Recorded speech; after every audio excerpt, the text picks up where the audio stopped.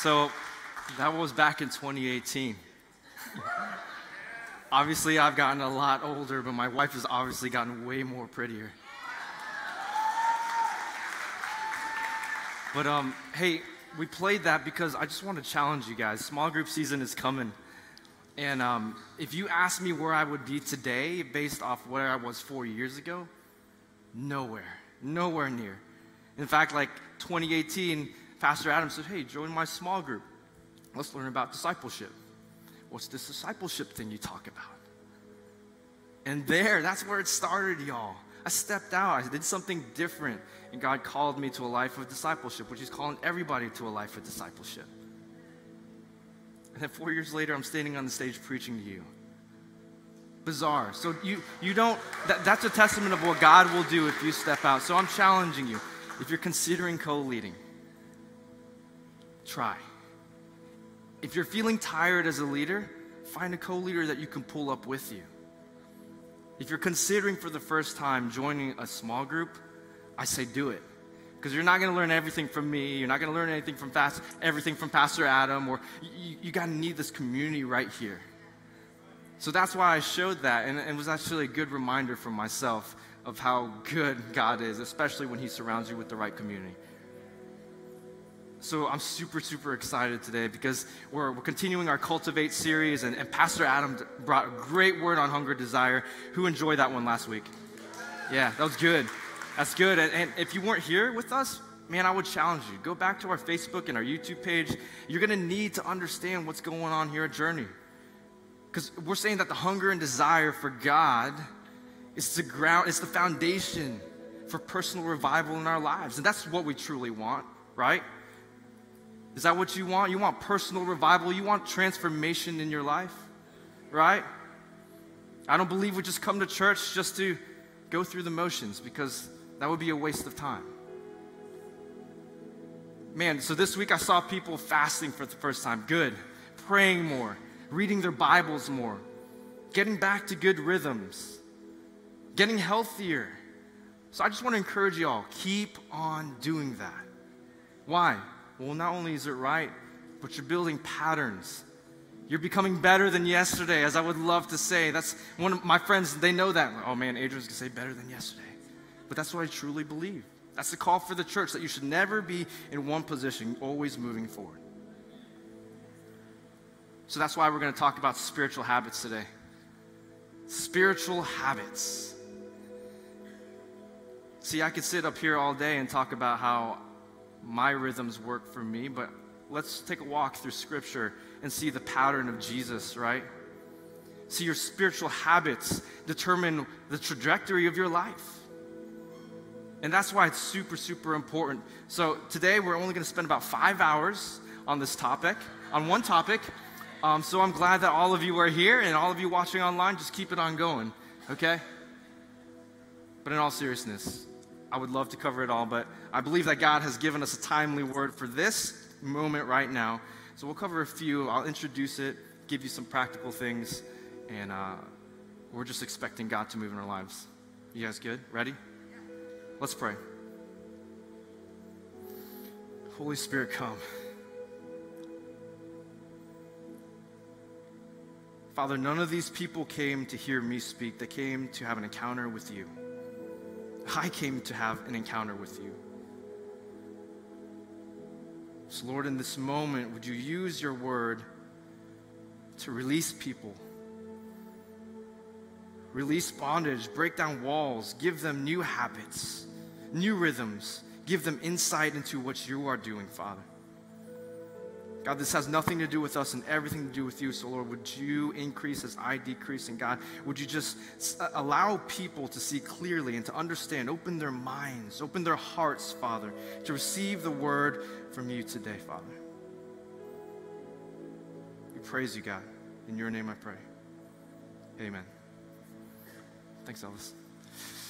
So, spiritual habits. Who's excited about habits? Because I'm going to talk about all of your habits, good and bad. Oh. So you might have heard spiritual habits be called spiritual disciplines before. Who's heard spiritual disciplines? Well, for the sake of today, I'm calling it spiritual habits because everyone has habits, not everybody has discipline. All right? So, when I, let me, let me prove to you a point here. When I use the word discipline, participate with me. How many of you instantly get tired?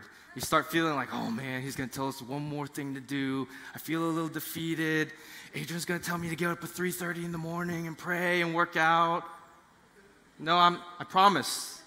I'm promise I'm not to tell you that. But it does say in Mark 1, verse 35, that very early in the morning, while it was dark, Jesus got up. He left the house and went off to a solitary place where he prayed. So I'm not going to tell you that. But the life of Jesus patterns different things for us to, to follow, right? So let's define this. What is a spiritual habit? Spiritual habits are practices that you can find patterned by Jesus and his followers in Scripture that promote spiritual growth among believers. It deepens our relationship with God. These are habits of devotion, habits of experiential Christianity. What is that? That means you get to know God, you get to find God through experiencing Him through circumstance. So I said this back in December. If you ever needed a faithful God, He places a circumstance in your life where you cry out to Him and He proves Himself to be faithful. So now you know His attribute of faithfulness. If you've ever needed a God of provision, Jehovah Jireh, and you call out to Him and He provides provision, so now you know His attribute of provision. Experiential Christianity. You get to know Christ through experience Him through circumstance. So, all these practices by design were given by Jesus to transform our lives. Like training exercises for spiritual life, uh, well, these are the training exercises for your spiritual life. For instance, if you have a gym membership and you never go, can you expect change? Yeah, everyone's laughing because they already know the answer to that. Same thing in your spiritual life. If you don't apply these spiritual habits, well, you can't feel the impact. You can't feel the difference in your life. So these things have to be practiced every single day. Why? Because your spiritual life is way more important than your physical life. So if, if you have to exercise regularly, eat healthy regularly to survive, you need to work on your spiritual life even more so. Right? Who agrees with that? So spiritual habits, they're not, they're not characters, they're not qualities, they're not attitudes, they're not fruits of the spirits, they're things you actually have to do. You have to do it. Like, for instance, joy is not a spiritual habit. It's not. It's a fruit. It's a byproduct. It's a result of your good habits done right. Right? So, spiritual habits would be things like Bible reading, meditating. I think I saw it on there. There it is praying, fasting, worshiping, celebrating, serving, learning, resting, silence, silence, solitude, glorifying God through your body. Man, these are just a few. There is so much that we can do to increase, uh, to, to cultivate the soil of our spiritual lives for personal revival. So we're priming, we're working. These are things that you have to do in order to experience that. See, spiritual habits done with the right motivation, the motivation to draw closer to God, to bring Him glory, man, they lead to a life of transformation, plain and simple. Plain and simple. See, we all have habits, our life is full of them. You know, we're a goal setting, dreaming, a journaling uh, generation. And, and that's great. I, I, I tell people all the time, you should be doing those kind of things. But guess what? Your life, it's not a product of your dreams. It's not a product of your visions, of your goals. It's a product of your habits, what you actually do. So, therefore, we make our habits and our habits make us. We make our habits. What we do matters. And guess what? It produces itself in our life. So our habits make us. So whatever you are, whatever I am, it's not a mystery to anybody. It's a collection of the good and the bad things that you do in your life. Right? The patterns, the rhythms in your life. And so, if we want to be a truly transformed person, if we want to be the man or woman of God that we really aspire to be, man, we're really going to have to get serious about onboarding the habits that Jesus patterned in Scripture. Like it's non negotiable. These are non negotiables. Do we understand that? Do we understand what a non negotiable is? It means if you want to succeed, you got to do this. You with me? Or you're like, oh man, where's he going with this? I'll tell you. I'll tell you where we're going. See, I believe that this is the intent of the Father. 1 Thessalonians 5.23. And, and this is a guiding verse for myself and the ministry outside of the church that I have. But it goes like, Now may the God of peace himself sanctify you completely. And may your whole spirit, soul, and body be kept blameless at the coming of our Lord Jesus Christ. So, in other words, the Holy Spirit gets in your life, right? He starts this process, a process that doesn't end this side of heaven. And He wants to complete you. He wants to make you blameless, faultless. He wants to perfect you the best that you can here on earth in your spirit, in your mind, and in your body. See, I believe that sometimes we get to be people, or we are people like, God, I really want to be who you want me to be, but I don't want to change my rhythms in life because it's going to inconvenience me. Man, if you do what you've always done, you can always expect the same result. Hands down. That's facts. You do what you've always done, you will expect the same results. So if we're people saying we want spiritual revival and I want to do the same thing and not read my Bible, well, then you can expect the same results.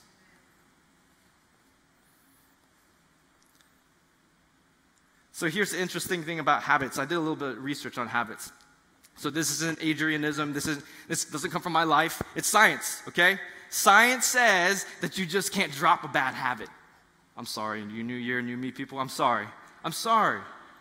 No, what they say, how do you get rid of a bad habit? You displace a bad habit with a, an even greater habit that has a ton of influence. That's greater. You got to disperse it. Here's an example, right? December 31st, uh, you went from eating uh, terrible in the vending machine. And then you said, January 1st, I'm going to work with uh, my baggie of salad and carrots. So January 1st comes around, 8 o'clock, and you're like, man, that Snicker bar is great. But this carrot is better. Right? I've seen it. I may have done it. Uh, Adrian, um, we're going to lunch. We're going to Chick fil A. This salad is much better than Chick fil A. Y'all, who am I fooling? That, that type of influence of a carrot and a salad in my personal life is not strong enough to displace bad habits. I'll take it one step further for your spiritual life. My wife and I, um, so we own a gym, and sometimes we often just close the doors down and it's just us, and we blast worship music. And we end up just praying and sometimes crying and doing less working out. But that is a rhythm that we have. And guess what? We get to experience God's presence in that moment, and it's so good. Guess what? I want it more. I want it more. I want it more. That in and of itself, God's presence is in and of itself, is strong enough to displace any bad habits. Try it. Try it. So, if you want to experience personal revival, holy encounters, a life of abundance, purpose, renewing of your mind, your body, your soul to be complete in every way, well, then you're going to have to really get serious about your habits. So, I got a ton of notes, a ton of scripture. Um, I believe you can actually text this number on the screen and follow along with some of these notes. So if you get lost, you, my notes are on there for you to uh, go back and meditate on, and hopefully it, it helps your spiritual life, especially this week. So I'm going to talk fast, so listen fast, okay? So, point number one spirit care. Spirit care, a habit of consistently abiding.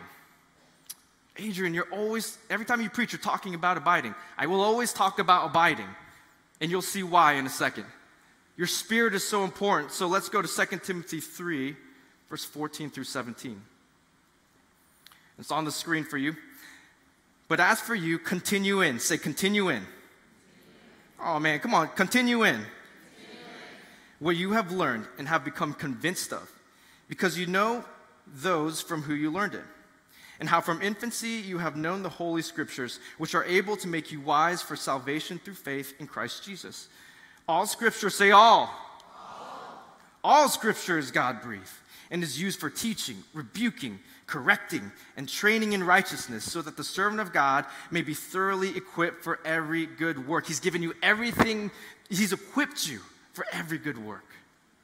So, Paul, in this letter to Timothy, is making it super personal. He's saying, Hey, Timothy, dude, you got to continue in doing the right things that you have been taught.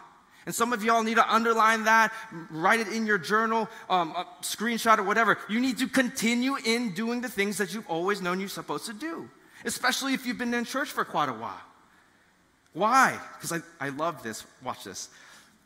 In this context, continue, that word continue, is translated to the Hebrew word menos, which means abide.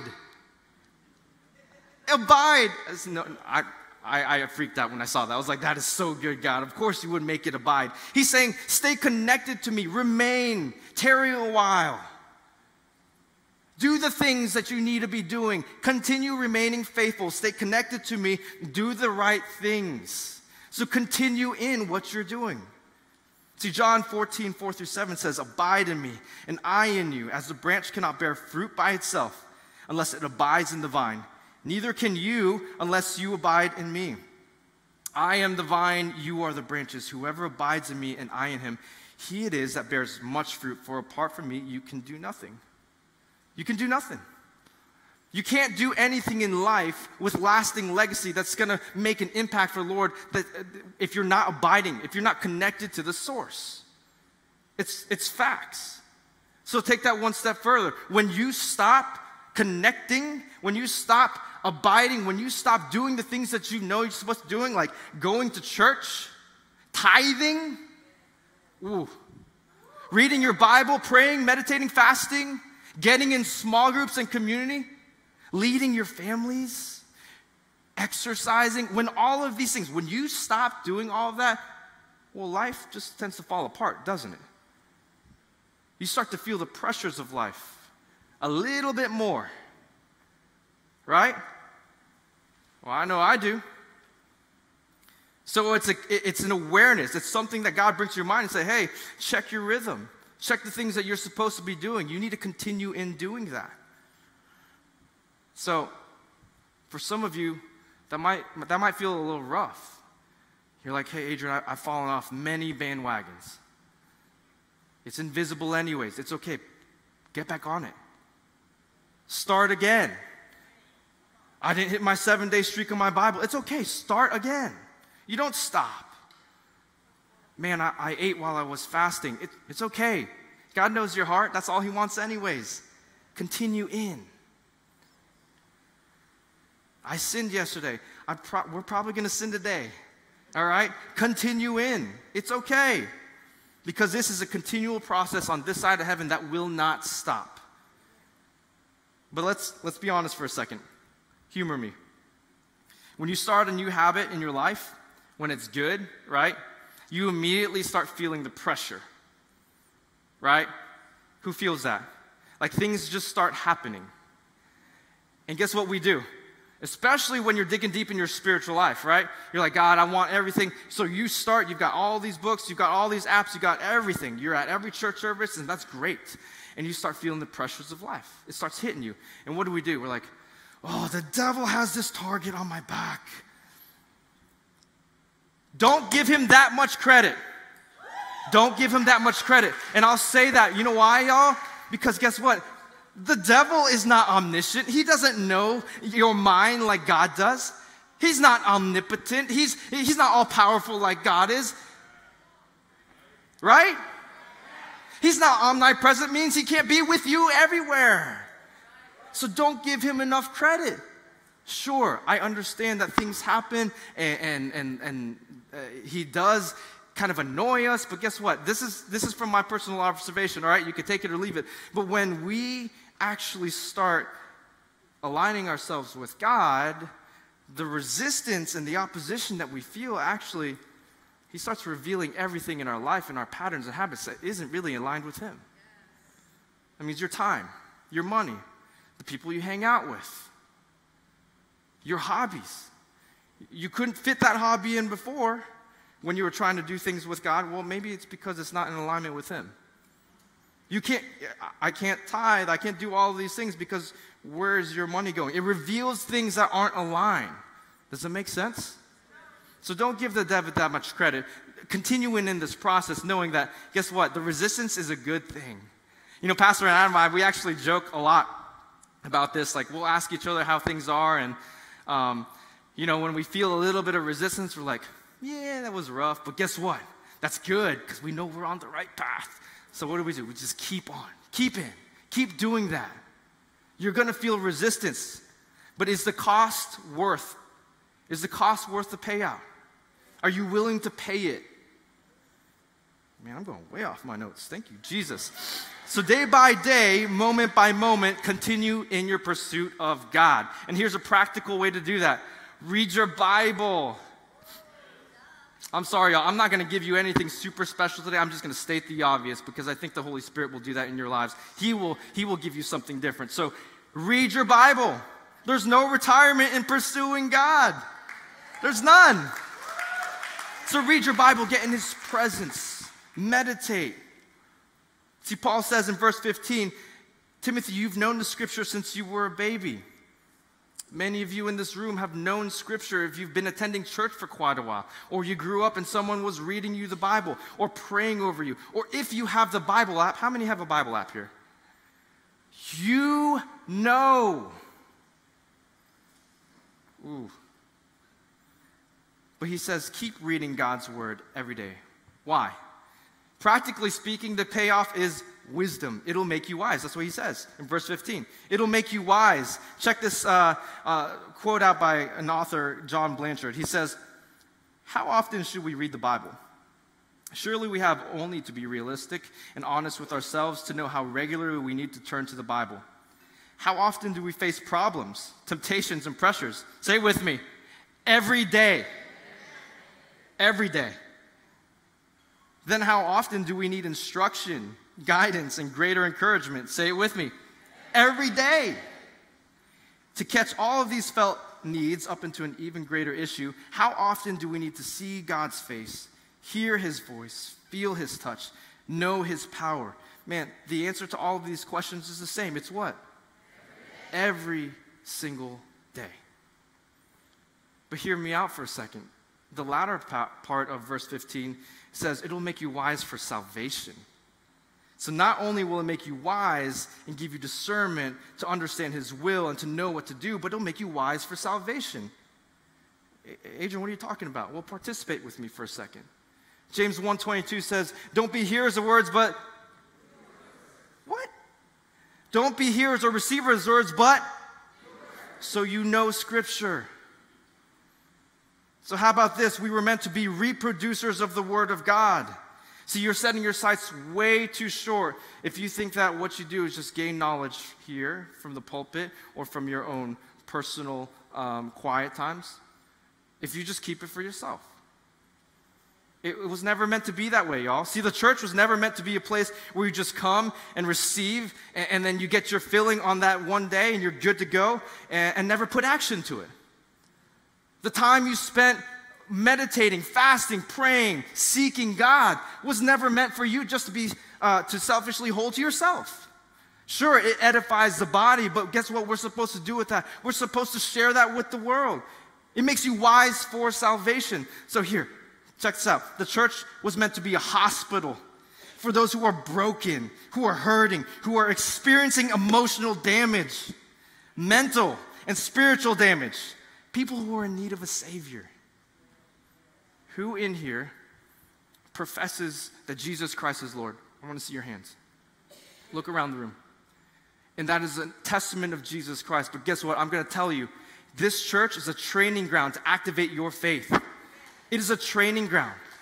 So you actually get to take Matthew 28, go into the world and make disciples, but you get to train here. How? Well, in community. But how can you teach someone something you don't know?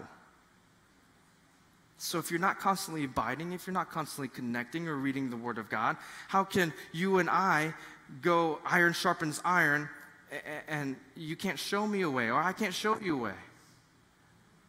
Right? Does that make sense? So, what happens is you take what you have on a personal encounter and man, you spread that here you join a small group, you get in relationship, and it starts to grow. It starts to grow. And then you have people who go outside the walls and they start to do exactly what's repeatable here because discipleship is a repeatable process. But it starts with the source, abiding in the source. But guess what? You got to be consistent. Consistency is a fleeting thing in this society, is it not?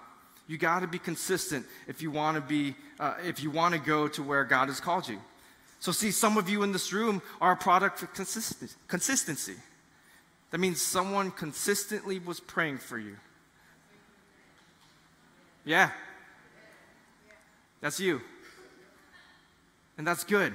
Someone was consistently inviting you to church. Someone was consistently into prayers, warring for you, speaking to you, loving you.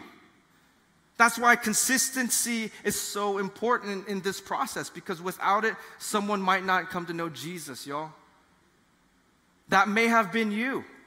And thank God for the people who consistently pressed in for others. And so some of you, like I said, are products of the consistency. So, practically speaking, what does this look like?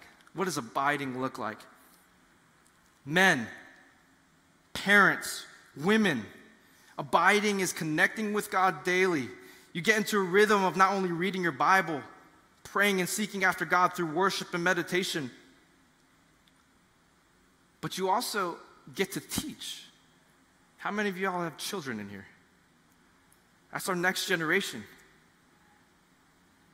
How many, there's leaders of this household who are leading ministries. You need to be teaching other leaders.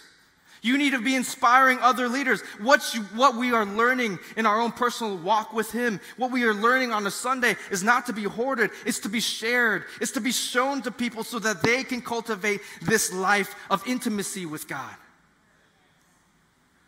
And I'm just going to give a little testimony here. I got a picture of what that looks like in my own life. That, that is my boy. And um, he, did, he doesn't know that I took these things, and I don't even see him here, so that's good. Um, but that place right there, I spend hours there in the morning in the dark with a candle that you could see.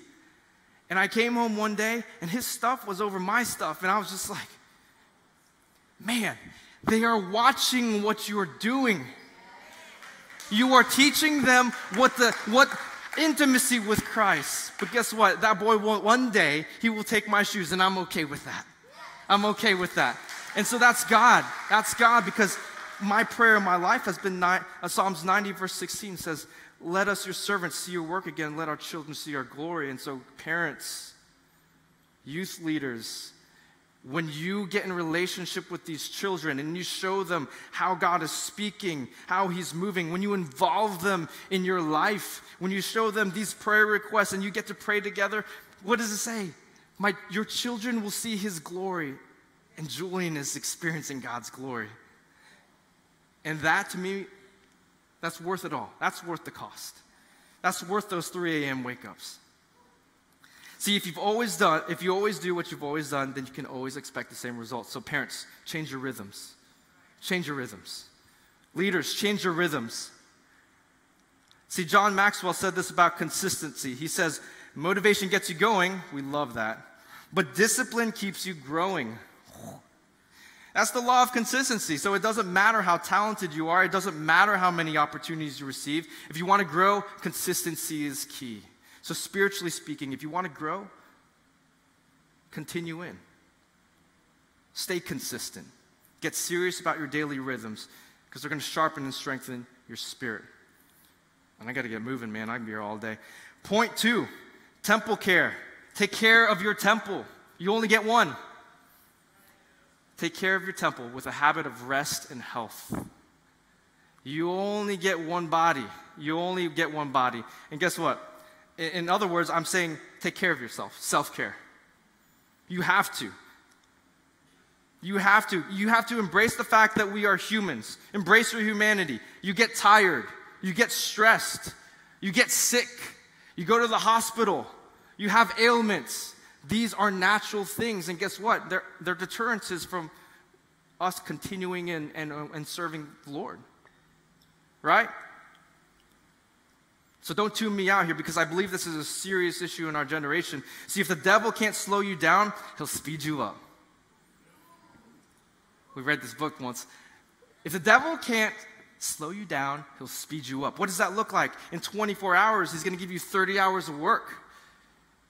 And 90% of that are not right now crisis, but we're going to do it anyways. So take a Sabbath rest. Take a Sabbath rest. Pastor Adam's always on me to take a Sabbath rest because my mind is like, but that's good. That's called accountability. And if you don't have someone to be accountable to, small group season is coming. Y'all catch the drift where I'm going here today? Small groups, okay.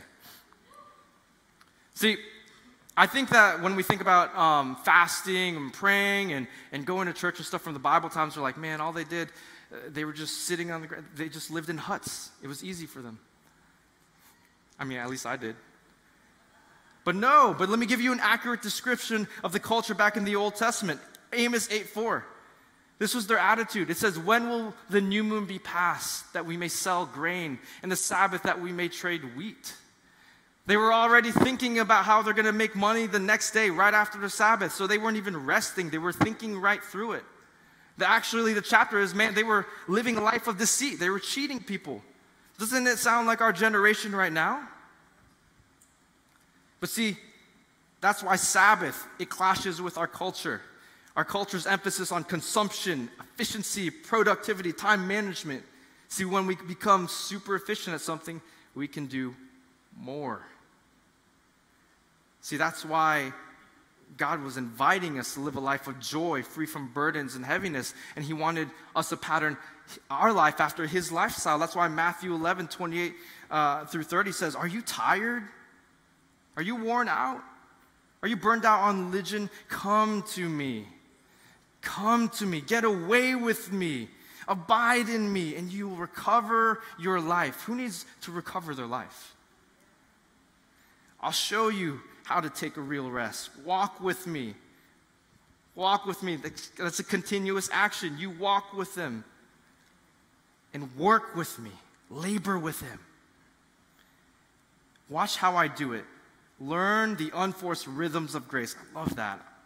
I won't lay anything heavy or ill fitting on you. Keep company with me, and you'll learn to live freely and lightly. He's inviting us into his rest, and so often we just zip right past through that. And see, we're a generation, uh, you know, we want to have a Mary's heart, but we're living in a Martha world. So instead of sitting at Jesus' feet, we're being a Martha. We'd rather serve. That's why Sabbath was a command, because it's not natural for us to rest.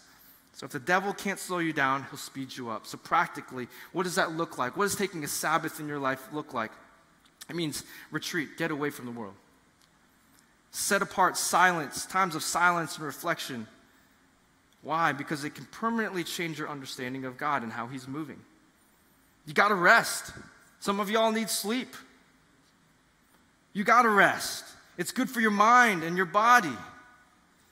Hey, on the Sabbath, when you're resting, learn to say no. Learn to say no in a generation that says yes. That means, hey, I'm not offending you, but guess what? This is not a right now crisis. This is not a right now crisis. Why? Because when you're having that Sabbath rest, you get to do what? You get to revise and examine your priorities, check your alignment with God. God, am I, am I on point today? No. This week, what do we need to adjust? You can't do that if you're always saying yes. Pause. Pause often. Pause throughout the week. Take moments throughout your week where you're, you'll, you will accept interruptions, opportunities for spiritual growth. God wants to get alone with you. Hey, this is a good one. Find enjoyment. Find enjoyment and refreshment through interacting with people or in God's creation or in things of enjoyment. Because, you know, part of our tiredness and our mental and emotional damage comes from not only from the weight of our work, but from the joylessness of never partaking in things of enjoyment. And He's inviting us into a life of enjoyment and rest. So, in order to take care of your temple, you got a Sabbath.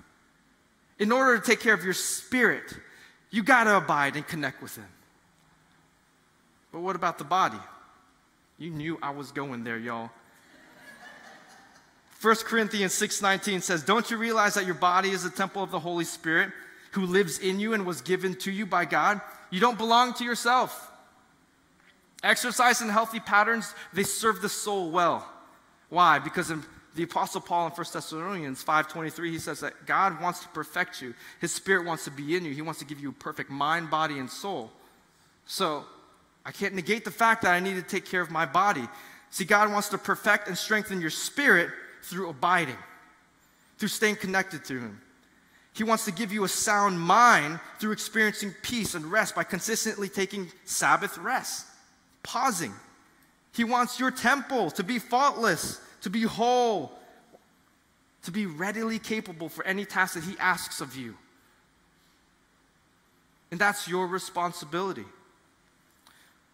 1 Timothy 4 7 through 9 says, Don't waste time arguing over godless ideas and old wives' tales. Instead, train. Say, train. Train yourself to be godly. Physical training is good, but training for godliness is much better, promising benefits in this life and in the life to come. This is a trustworthy saying, and everyone should accept it. So, Paul's saying, Timothy, train, exercise, yes, in godliness, which means to be like God, but he doesn't discredit the fact that he said, physical training is good. In natural, it brings benefits. God, let, let me give you an example. God, you, have you known somebody? I have known people who, man, they were on fire. They can make impact in this life. They, they have the ability to, to shift everything in the room because they are that close to God, but they do not have the health to back it up. They do not have the health to back it up. And while that triggers some people, it's a challenge to you to be healthy because if you desire to serve the Lord with all your heart, soul, and mind, and forever until you meet Him in eternity, you got to be healthy. If I want to continue preaching for the rest of my life and sharing in this life with you, I got to be healthy. I can't have people picking me up. I can't have people saying, Can you preach the sermon for me? Because I just don't, you know, my, my habits left me where I'm at. Get serious. Get serious about yourself. And that is your responsibility. I say this all the time your responsibility means your ability to respond to life. And what does verse 9 say? Paul says, This is a trustworthy saying. You should accept it. Take it to the bank. It is what it is. This is a good thing to say.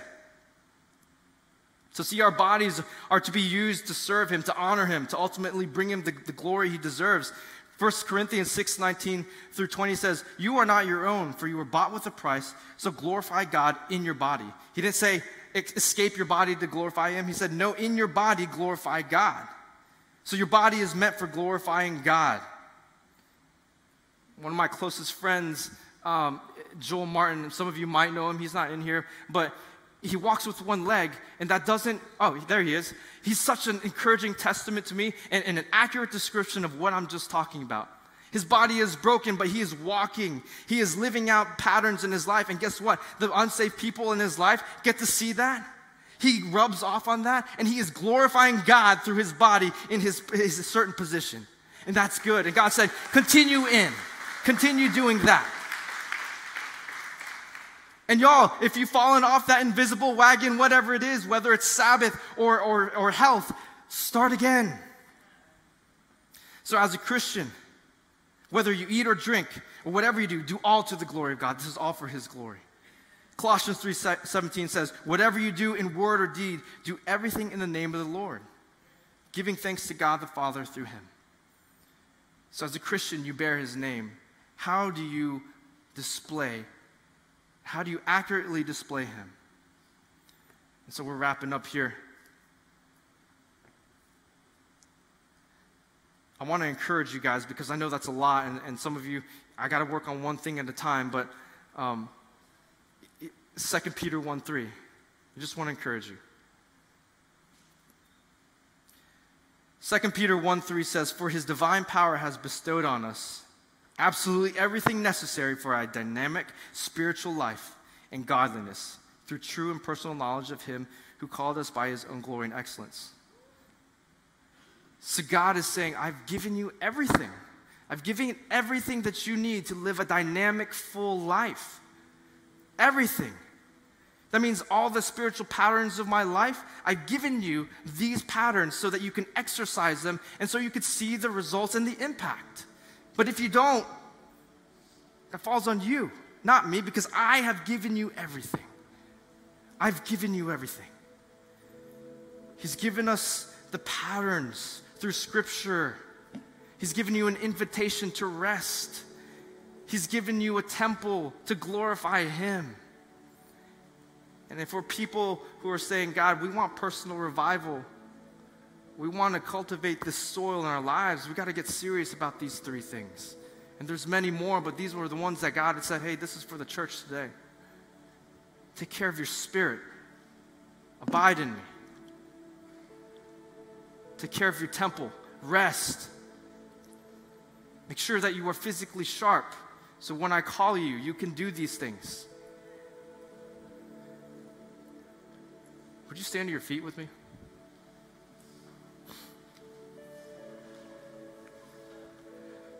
And ministry team, you guys can join me at the front.